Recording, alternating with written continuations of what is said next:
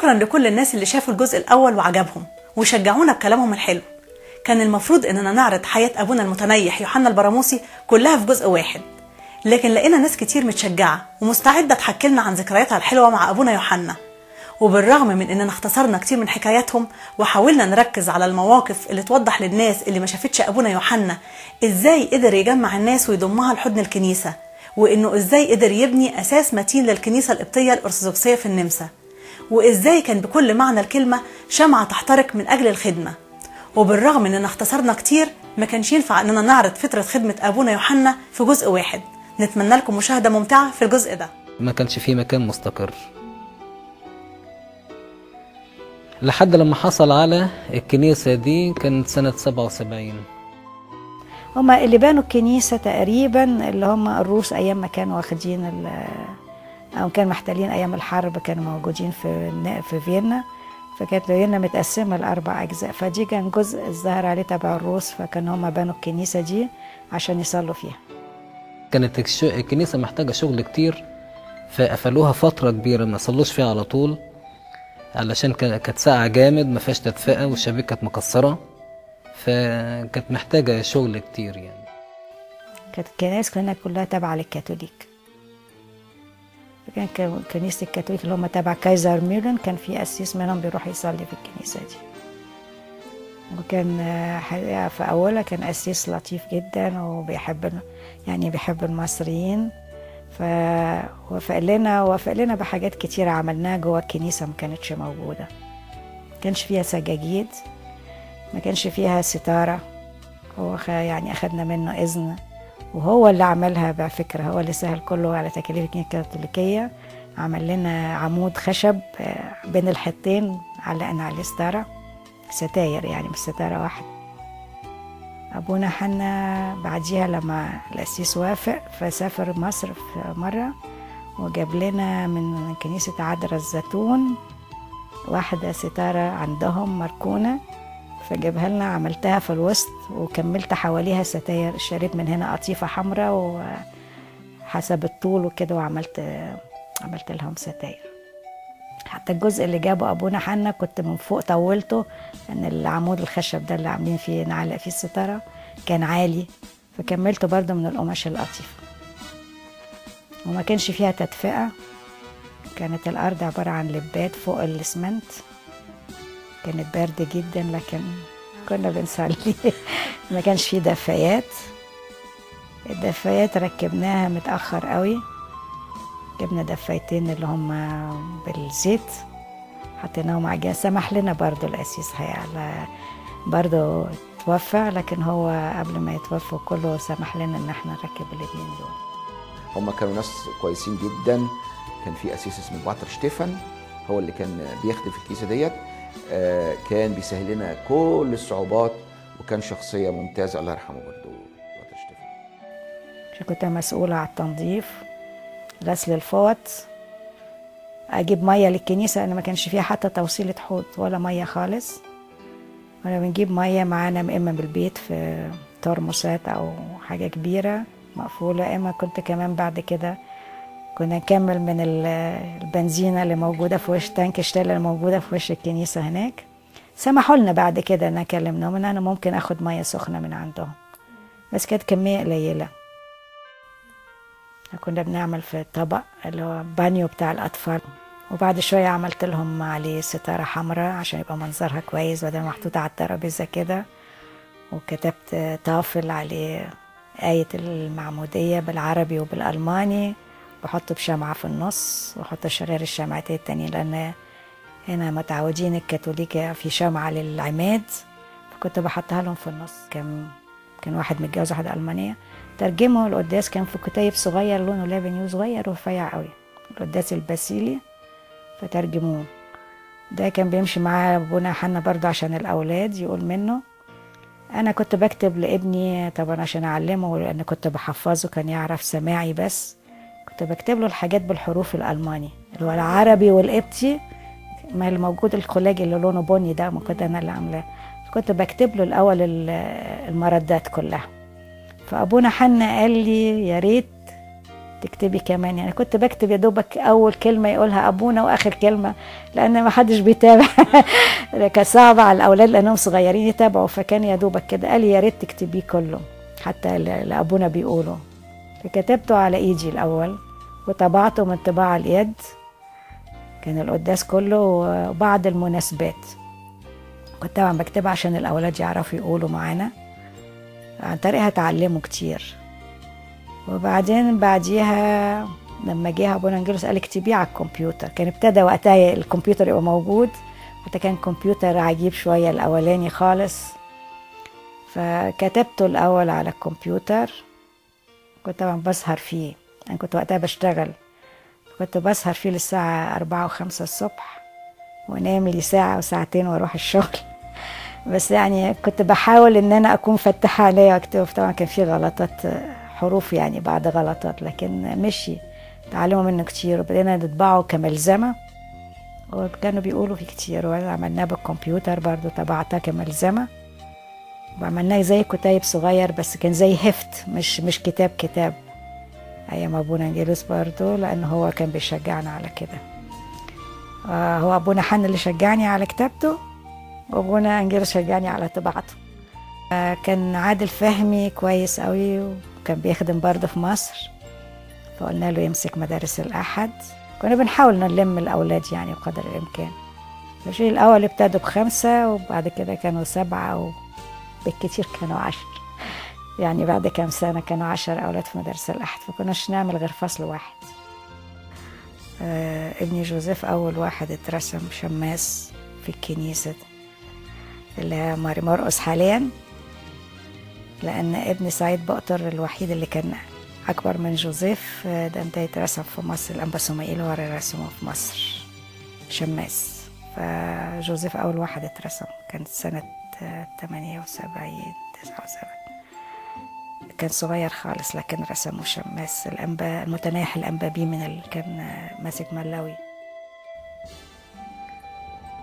ابتدى أبونا يوحنا يهتم بالقراية للناس يشترك في عدد مجلة الكرازة ومجلة مرمرقص كانت بتصدرها برلين أيام خدمة أبونا صليب سوريال.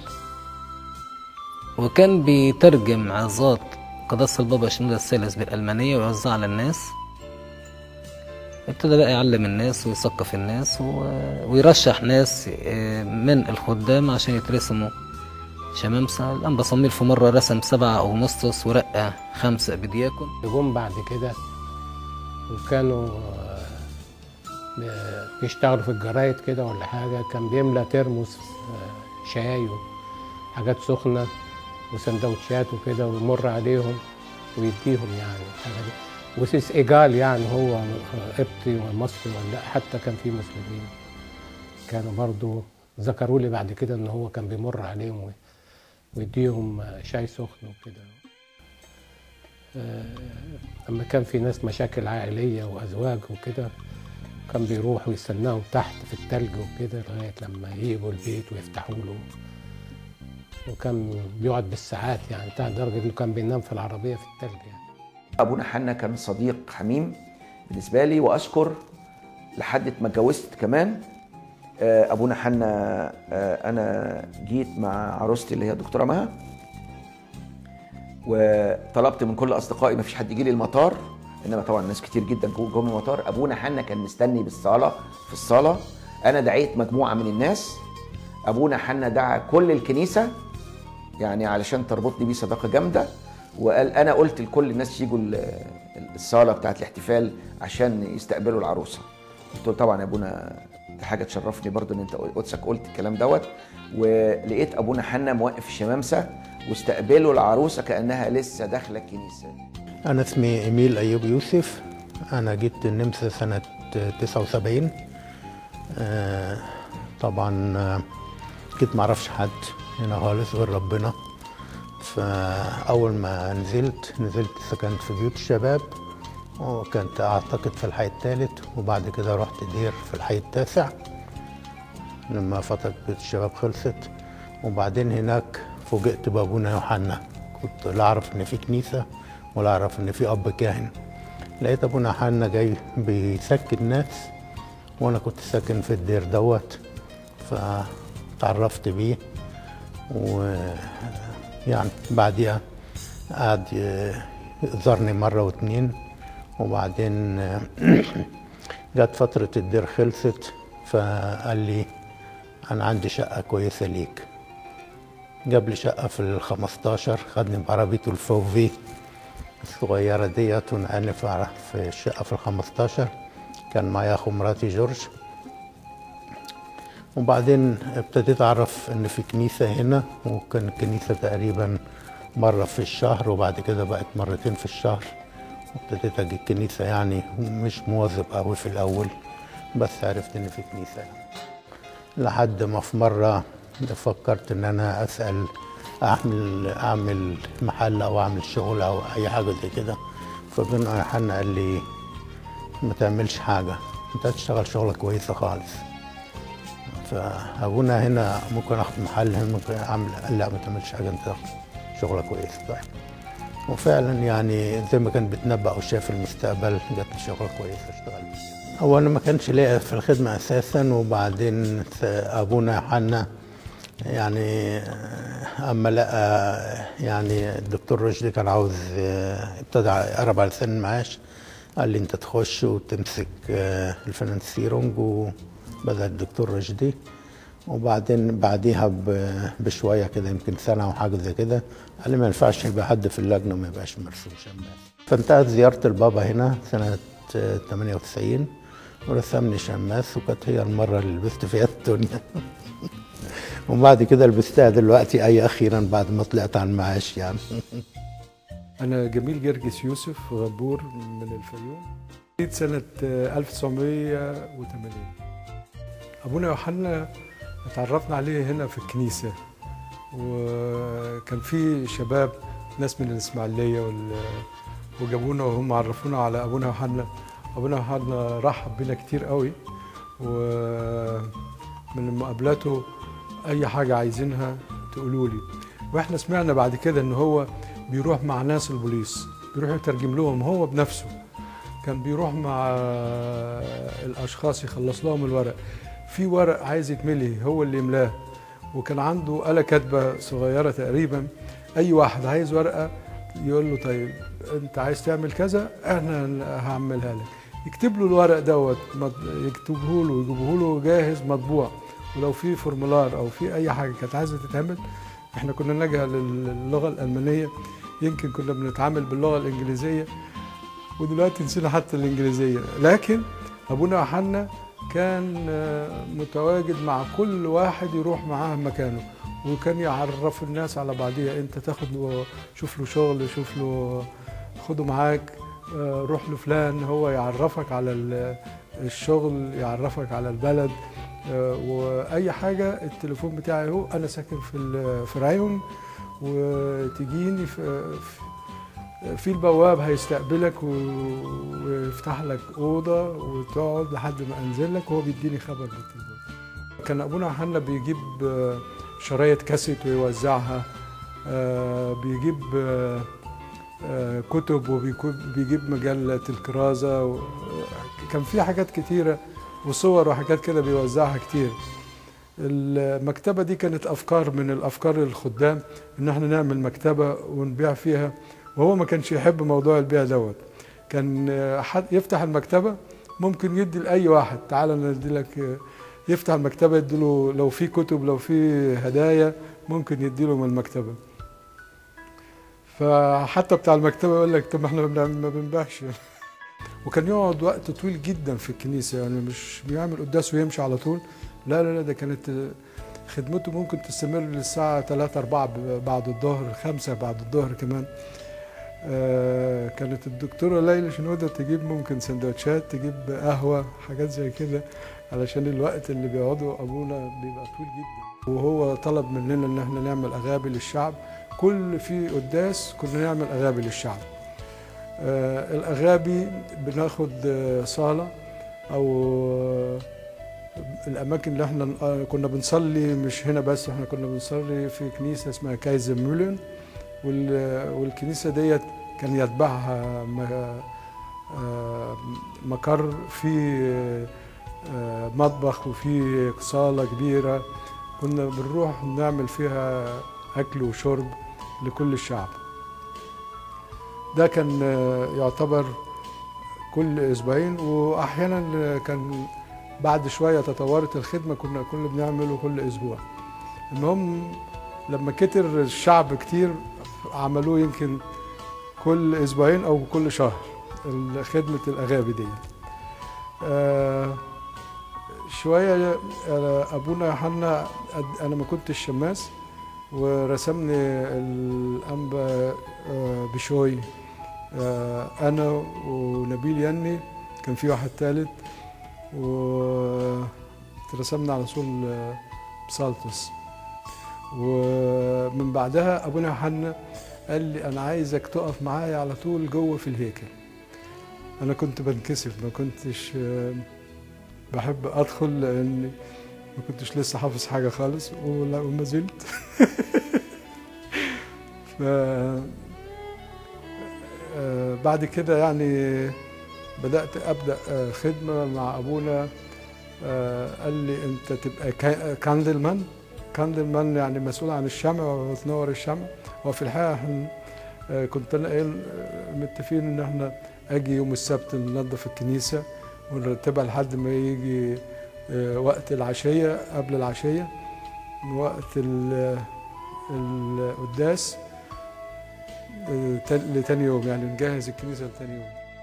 أنا اسمي كمال عبد النور جيت النمسا سنة آه، 1980 وكنت بروح الكنيسة القبطية. آه، مع الأسف في البداية كنت بروح في الأعياد بس. وبعد كده اندمجت آه، في الكنيسة آه، من خلال أبونا يوحنا البرموسي. لأن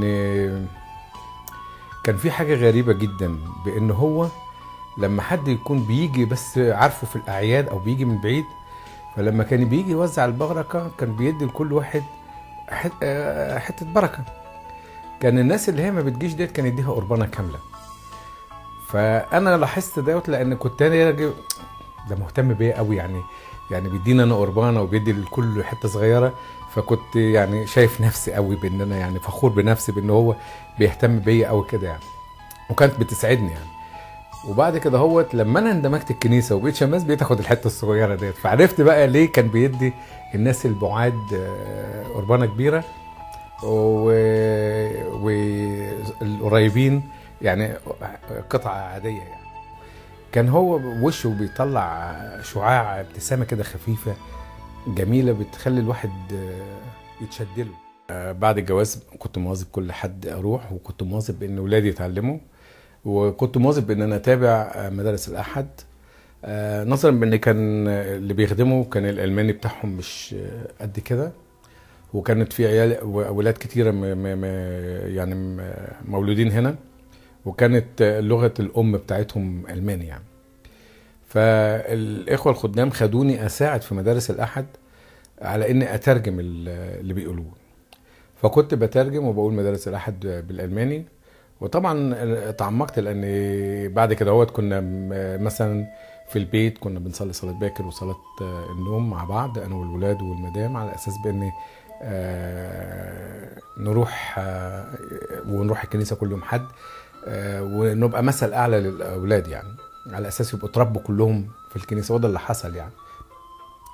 فلما أبونا انجيلوس شافني مواظب في مدارس الأحد وبدي بترجم بترجم بس مش يعني مش بدي حصص بترجم. فطبعا آه، عرض عليا أو رشحني أو بإن أنا أبقى شماس يعني. في البداية أنا لما كنت آه، طبعا ما كنتش بدي شماس في البداية لأن ما كنتش شماس. فلما كانت تيجي وعظة أو يجي القداس فكنت أقعد جنب مراتي وأترجم لها كل كلمة بتتقال. وكان آه، عايز كل حاجة بتوصل لي وبتفتح قلبي توصل لهم وتوصل للولاد. فكنت تملي آخد ال- مراتي وبعدين آخد الولاد وأقعد أترجم لهم في القداس. وبدأت المجموعة تكبر. بدأت تيجي مثلا هايدي وبدأت تيجي آه، في ست تانية كانت كبيرة مش فاكر اسمها آه، كانت بتيجي تقعد جنبها. فبدأت أترجم آه، للوعظات وبدأت أترجم بعض القداس ولما أشوف حد جاي لأول مرة فامسك الخلاجي وأقول له إحنا في الحتة دي وفي الصلاه ديت. ولما بروح كنيسه الكاثوليك فهو أغلب ال- القطع هي هي بس إحنا يمكن عندنا أطول شوية فبقول لهم هنا مثلا صلاة كذا وهنا صلاة الصلح وهنا صلاة كذا فبيبقى ال- اللي جاي أجنبي في في الكنيسة آه، بيبقى متا- متابع آه، جيد القداس ولما بيخلص القداس بيبقى مبسوط جدا ويجي بيشكر يعني بإن آه، فهمناه ال- آه، القداس من الألف للياء يعني. فكان اهتمام بالأجانب كان غير عادي. من ناحية أبونا أنجيلوس كمان ومن ناحية أبونا يوحنا البراموسي بس أبونا يوحنا البراموسي كان بيقول بالألماني. فعشان كده ما كانتش تأثر معاه الترجمة. لكن طبعا أبونا انجيلوس حتى في صور آه، موجودة وأنا ماسك الميكروفون وبترجم للانبا بشوي. فكنت كان حتى لما يجي اسقف كنت أنا اللي بترجم. يمكن كنت. في الفترة ديت آه، من القليلين اللي متجوزين نمساويين وبيجوا الكنيسة فكانت ال- الترجمة فورية. وبعد كده جبنا جهاز ترجمة. فأصبح بانه بيتفرق على الكنيسة الناس الأجانب والولاد اللي هم ما بيعرفوش آه، عربي. وكنت بمسك ميكروفون وطبعا غير الصوت يعني للسماعات بس. ومرة كنا في آه، رفعت آه، وعبير مراته كانوا لسه عرسان جديد وجايين من مصر. وكان رفعت عزمه في في الشقة عنده فما كان لسه ما جابش عربية. فكنت أنا رحت جبت أبونا وبتاع. وإحنا قاعدين فبقول له رفعت كان حاطط صورة عروسة وعريس. فقال له شيل الصورة دي من هنا. قال له حاضر يا ابونا فبعد شوية رفعت ما سألش لأنه مهتم بالضيوف يعني. قال له رفعت شيل الصورة دي من هنا. قال له حاضر يا ابونا فاستنى شوية رفعت شيل الصورة دي من هنا. فقال له طب يا ابونا بعد الأكل. فأكلنا وبعد ما خلصنا أكل قال له يا رفعت شيل الصورة دي من هنا. حطها في حتة تانية. فقال له طيب المهم اكلنا وبعد كده شربنا شاي وخدت أبونا ونزلت أوصله أنا كنت مسافر مصر. بعد كده هوت الساعة 2 3 بالليل ابص الاقي رفعت بيتصل بيا. فبقول له حق إيه؟ في إيه؟ قال لي أنت نازل مصر مش كده؟ قلت له ما أنت عارف. قال لي طب خد الصورة بقى بالعروسة والعريس ديت وعايز البرواز بتاعها زيه في مصر. قلت له ليه؟ قال لي مش أبونا قاعد يقول لي شيل الصورة شيل الصورة شيل الصورة. قال لي الصورة أنا معلقها على خابور أتشعلق عليه وما تقعش. الصورة الساعة 2 بالليل لقيتها دب نزلت على 100 حتة. فمن هنا عرفت بإن ده فعلا غير عادي وده قدامي وحصلت قدامي. فعرفت بإن خدت الصورة طبعا ونزلت مصر واديتها لأهل رفعت واتبروزت بنفس البرواز. ميلاد أخويا بقى لما خد الشقة جاب الشاكوش وجاب المسامير وجاب الصور. ودعا أبونا صلوا له في الشقة قال له أبونا علق الصور فين؟ وأبونا بقى يركب على الكرسي ويشاور له على مكان الصور بتاع من ساعة الحادثة ديت فعرف بإن بإن في يعني في حاجة في شفافية آه، غير عادية. لما كان البابا شنودة هنا هوت يعني أنا في موقف آه، شفته منه آه، حسيت بإني عايش للرعية مش عايش لحاجة تانية. يعني في كنيسة الأنبا أنطونيوس كان قداسة البابا شنودة وقداس وطبعا كانت موجودة آه، مطرنا وأساقفة كتير. وكان موجود أبونا أنجيلوس وأبونا يوحنا البراموسي وكل الكهنة موجودين. ومجرد ما خلص القداس قداسة البابا راح في مكان يريح أو ياكل أو حاجة وراحوا كل المطرنة والكهنة والكل ورا قداسة ال- البابا شنودة وأفاجأ بأن أبونا يوحنا البراموسي الوحيد اللي ما راحش. فجمع ناس بسطاء خدام حلوين من الكنيسة كانوا موجودين وقال الكنيسة دي إحنا واخدينها من الكاثوليك والكنيسة كانت كبيرة تشيل ألوفات زي ما قلنا ودي كانت الكنيسة اللي هو اتعمل فيها الجناز بتاعه. فقال لازم ننظفها. ووقف في وسط الناس لغاية الساعة 4 5 الفجر آه 5 المغرب. وعلى فكرة ده العادي بتاعه كل يوم حد بيقعد لغاية الساعة 4 5 ما ياكلش ولا حتى سندوتش. وتقلي ولا حتى قربانة يعني. بيقعد على المناولة. فوقف في وسط الناس وهي عمالة تكنس وتجيب أكياس وتعبي ال- الحاجات ال- اللي كانت آه، واقعة من بعض الناس أو الأطفال أو حاجات زي كده هو لغاية لما نظفوا الكنيسة نظافة كاملة ومع وكان واقف لآخر واحد موجود فيه. يعني الكل راح كل وقعد وانبسط وكل حاجة. هو الوحيد اللي قعد مع الشعب ومش أي يعني حتى كمان الشعب راح كل وانبسط برضه. قعد مع الخدام اللي جزء من الشعب لغاية لما نظفوا الكنيسة. ودي كانت الساعة 4 5 المغرب. فكان ما بيسيبش شعبه خالص يعني. ودي ملموسة وملحوظة. يعني بغض النظر مين اللي جاي بيفكرني بقصة ال- انبا بشوي لما كل الرهبان راحوا يشوفوا المسيح وهو الوحيد اللي شال الراجل الكبير وطلع في الآخر المسيح. هو نفس النظام بالظبط كان عامله. أنا القصة ديت بتفكرني بالقصة ديت.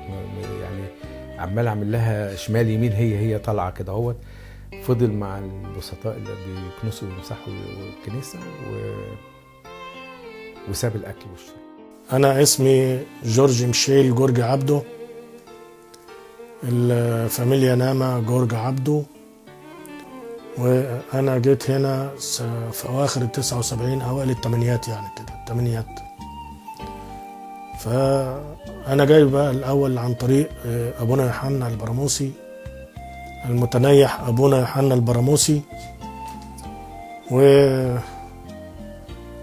كان في واحد صاحبي كان يعني هنا في إيطاليا وبعد كده جه النمسا وهيرجع تاني. فالمهم قلت له هنطلع معاك وبتاع وكلمنا أبونا يوحنا.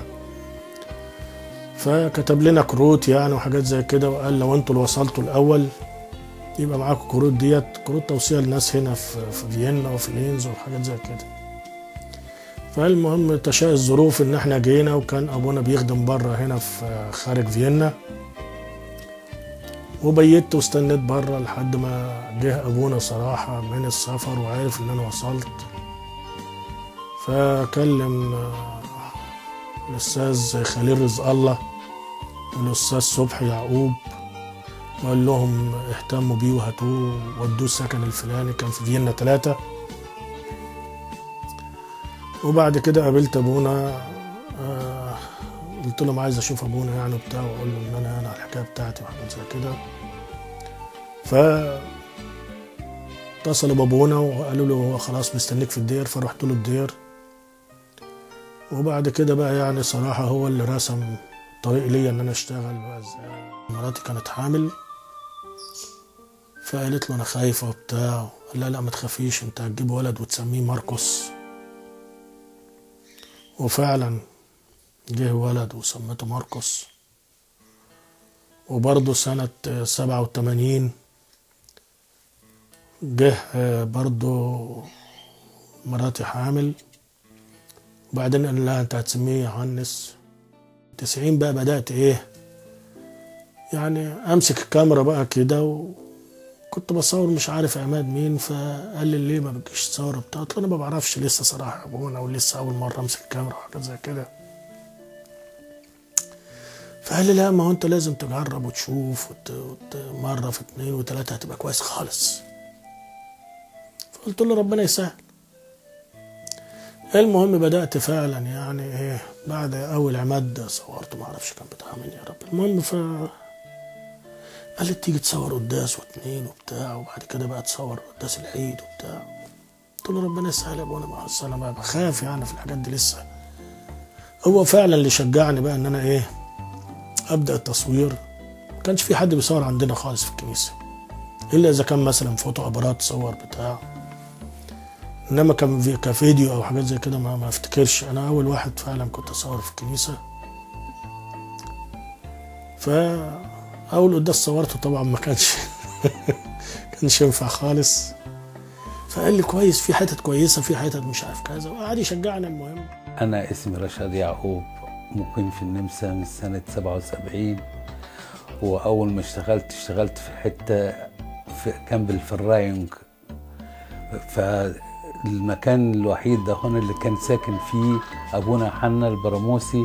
فده السبب إن أنا تقابلت مع قدس أبونا يوحنا كتير وكان بيقابلني بترحاب وبشاشة وكان إنسان ظريف جدا أول ما قابلته. أنا كنت ساعتها عازب ولسه ما اتجوزتش ودعاني كذا مرة إن أنا أحضر القداس. وفي الآخر لما نزلت مصر واتجوزت وجبت المدام واظبت على إني أروح الكنيسة. كان أي حاجة في ايديه كان بيديها للناس. ما فيش حاجة يخليها في إيده. يعني بيروح عند فلان عنده عنده محل بتاع حلويات يديله حلويات أول ما يقابل أي أسرة يروح مديها الحلويات. كان يجي البيت ماسك جايب حلويات لسيلفي ومارينا وكان متعلقين بيه بطريقة رهيبة. سيلفي كانت تقعد جنبيه ومارينا على طول تروح نط حط حط نفسها على حجره وهو يمسكها. كان يحبها جدا لدرجة هو اللي زكى مارينا إن هي تقدم بوكيه الورد لقداسه البابا شنود الثالث. أنا مرة رحت أجيبه كنت ساعتها شغال في الشغل بتاعي. من الصبح من الساعة 4 لغاية الساعة 2 ورحت أجيبه الساعة 2 عشان عندي في البيت كنت فعلا مرهق في الوقت ده. هون ركنت العربية ودخلت أسأل عليها هو كان مستنيني البواب قال لي أبونا مستنيك فاستنى في الأوضة آه، الاستراحة بتاعته. فدخلت الاستراحة وما مفاجأ إلا إني غبت في النوم بطريقة رهيبة. لقيت الباب بيخبط عليا وبيتفتح فببصيت لقيت أبونا حنا بالبشاشة بتاعته بيقول لي أظن استريحت كده. فببص في الساعة لقيت أربعة ونص. كنت هتجنن. أربع ساعتين ونص قاعد نايمهم وأنا مش واخد بالي. حاسس حاسس بيحس بالإنسان اللي قدامه لدرجة سابني ما رضيش يصحيني غير لما استريحت. قلت بقى هلاقي غرامة على العربية سبت ده كله جريت على العربية أنا هو فعلا ما لقيتش ولا غرامة على العربية ولا حاجة. فأنا مرة كان راكب معايا وفجأة بصيت بيقول لي بيقول لي تعالى وديني البوسطة. فده ليه يا أبونا؟ قال لي أنا عايز أروح البوسطة. في موضوع كده. فدخلت معاه البوسطة وافاجئ ألاقيه جايب لي غرامة كانت محطوطة قدامي على التابلو أنا مش واخد بالي منها. فاخدها مني وراح مدافعها قال الحاجات دي ما تتأخرش لازم تدفع أول بأول. آه، كان يجي عندي لما يحس في حاجة في أي مشكلة بتاع أبص الاقيه يتصل بيا يا رشاد ممكن أجي لكم؟ قال لا. أنا ما ما ما ما, ما قلتلوش على أي حاجة. يجي يقول لي الموضوع كذا كذا وبتاع. أحس إن هو مشاركني في أي مشاكل في أي ضيقات أ- أقابلها. مرة من ساعة مارينا اتولدت اتولدت ضعيفة جدا اتولدت كيلو 400 جرام. فري جبورن آه، يعني آه، اتحطت في الحضانة ثلاث أشهر في الحضانة وكانت مرسيل زعلانة عليها جدا. فأبونا كان يطيب خاطرها لها ما تخافيش أنت تشوف مارينا دي شكلها إيه. دي هتبقى أحسن واحدة هتبقى كويسة جدا هتتخرج وهتبقى متعلمة جدا وهتبقى في مراكز حلوة ما تخافيش عليها. واهو اللي بي- قاله أبونا بيتحقق واحدة في واحدة مع مارينا إن شاء الله. كان محب جدا لينا محب يعني أنا بحس إنه محب لينا. أتاري الشعور ده لكل الناس. أقابل واحد يقول لي ده أبونا محب ليا أقول له مش أكتر يقول له مش أكتر مني. أبونا بيحبني ب- الواحد فعلا بيحس إن أبونا بيحبه كشخصه كذاته هو. موزع حبه على كل الناس. أبونا من النوع اللي فعلا بيفكر في كل إنسان في كل واحد من الشعب بتاعه. كان يجي عندي ساعتها وكان بيجيب الكورته فاضية ويقعد يملاها ويحط عليها الدمغه وكل واحد باسمه عنده دفتر فيه جميع أسماء ال- الجالية كلها. وكان بيبعت لكل واحد كارت معايدة للبيت. أنا عندي هنا هون في كروتة من من إيد أبونا يوحنا. أنا مش فاكرة السنة بالظبط. يمكن محتمل 88 يعني سنة 90 جه أبونا انجيلوس كان وقتها بيجي الأنبا بشوي فإحنا كلمناه قلنا له بقى يعني هو بعديها بسنة تقريبا صح. يبقى تقريبا 88 آخر 88 89 كان أبونا حنا تعبان. هو كان في لينز وبصينا لقيناه أخد برد مرة واحدة ولقيت بتوع لينز بيتصلوا بيا بيقولوا لي إن أبونا حنا عيان في المستشفى. فإحنا على طول بعد نروح اخدنا بعدين رحنا هناك. فقابلنا الشخص ده ودانا المستشفى وقعدنا مع أبونا. وكمان كنا بنشوف الدكاترة بيعملوا له إيه أو هيعملوا معاه إيه. وقال لنا يعني أبونا حن قال لهم بيعملوا العلاج. قلنا طب ننتظر العلاج وكده نشوف جينا هنا على فيينا. بعديها بيومين أبونا حن اتصل بينا. قال تعالوا خدوني. قلت له سمحوا لك المستشفى قال لي آه سمحوا لي إن أنا أطلع وآخد العلاج كذا وكده. ويروح هنا ممكن نديله دكتور أو مستشفى يديله العلاج. فرحنا جبناه وجينا. السمع Sturz Hörsturz يعني معناها السمع راح مرة واحدة. فما كانش بيسمع كويس. وهنا سألنا دكاترة كتير طبعا رحنا واستشارات كتيرة وراح شافوا دكاترة كتير وكده بس حتى كانوا بنحاول نعالجه يعني مرة كان عندي موجود هنا وجد دكتور بهيج من بيشوف صهوفن وقال نديله حقن مش عارفة و... صدقني عطيناها له واستحمل أبونا حنا إنه ياخدها يعني كده كان بيحس ب بطنين غير عادي في ودنه وبعد كده ابتدى ما يسمعش خالص يعني. كانت الناس تتعامل معاه بخلال ال- الكتابة. الغريب في الأمر بقى إنه بالرغم إنه ما يسمعش لكن آه، يحس بالإنسان اللي قدامه هو بيقول إيه بالظبط وعايز إيه بالظبط برغم ما يسمعش خالص. لكن يقول له آه، أنت بتقول كذا كذا كذا. لا تعملش دي. كان دايما آه، في حاجة خاصة بيه هو لازمة معاه. الحاجة اللي مش موافق عليها يشاور بصباعه كده دي لا. اللي بيعمل غير دي بيبقى فاشل فعلا. ناس كتير اختبرت الحكاية دي. واحد قال لي أنا كنت داخل في مشروع. بعدين رحت قلت لما أستشير أبونا يوحنا. فقعدت أتكلم معاهم سمعني فابتديت أكتب له. فهو بص كده للك- للكتابة وبعدين عمل لي كده. فأنا قلت إيه؟ هو ده في له في الصلاة بس هو يفهم إيه في المشاريع. لا يفهم في المشاريع ولا في الحاجات دي يعني خلينا إحنا الحاجات دي إحنا نفهم فيها أكتر. ودخلت في المشروع ده وما سمعتش كلامه وكان فشل ذريع. كان بيجي لي برضه بورجنلاند وهو يعني آه، كان تعبان يعني.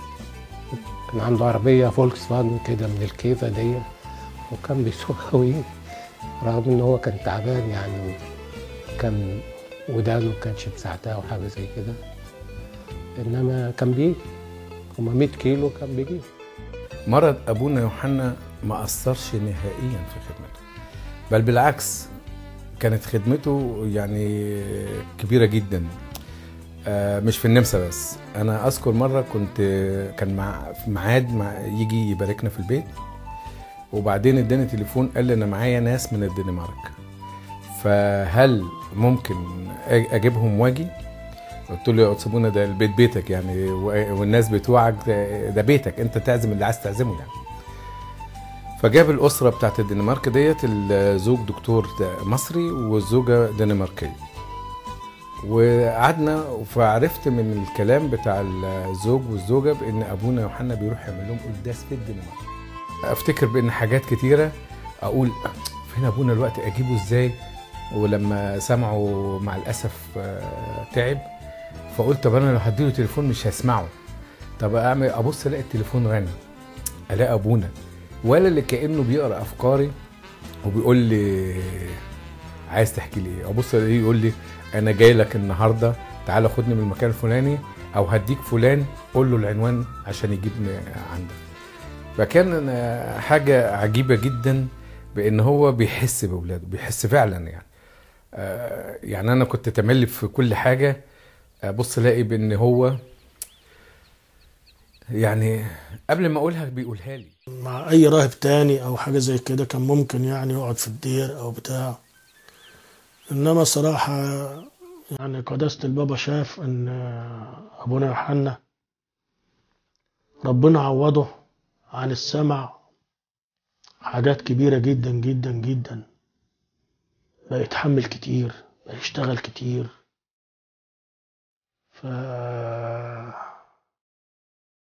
كنا دايما المعاملة معاه كنا نكتب له وكان هو يرد علينا.